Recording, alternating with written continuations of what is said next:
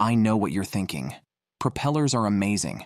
They've powered our world for the past 200 years, from the iconic SS Great Britain to the steam engine to even helping us reach the skies.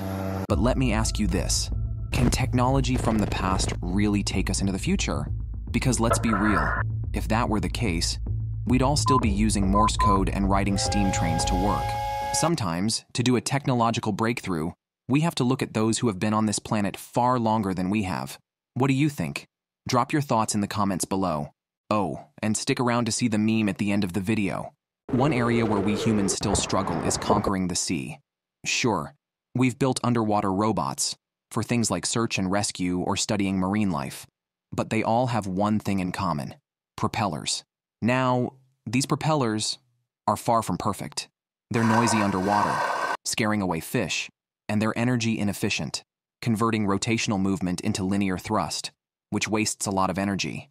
That's why a group of four scientists from the University of Electrocommunications in Tokyo set out to reinvent underwater thrust.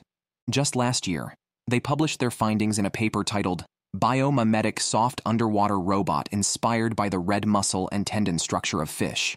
Spoiler alert, no propellers were used.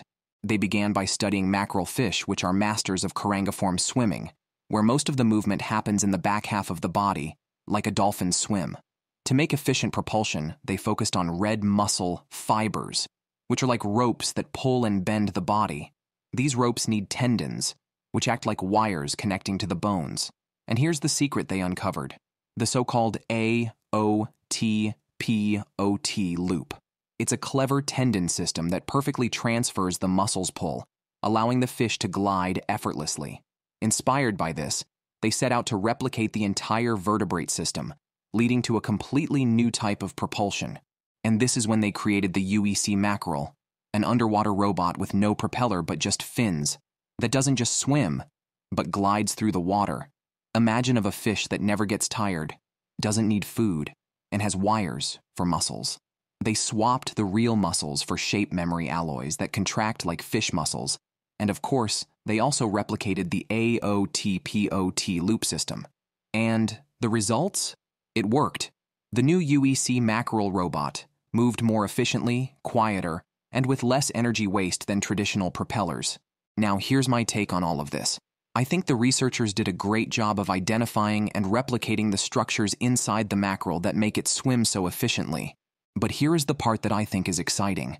Imagine if we scaled this silent swimming technology to create submarines that move just as silently as the, the UEC mackerel. The possibilities would be mind blowing. It could be revolutionized military submarines, which are currently being tracked by the noise of their propellers. But what if there were no propeller at all? Would they still be able to detect it? It's a wild idea, but one that could completely change underwater technology. And now, the meme of the week. Join our mission of bringing peer review to every household around the world. See you next Wednesday.